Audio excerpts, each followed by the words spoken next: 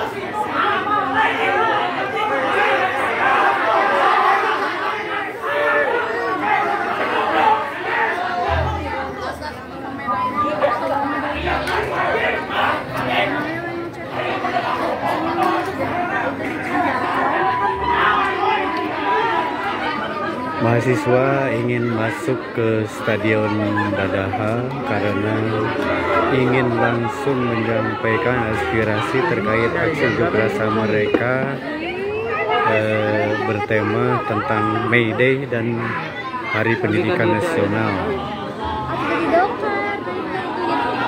Di dalam stadion sendiri sedang berlangsung halal bihalal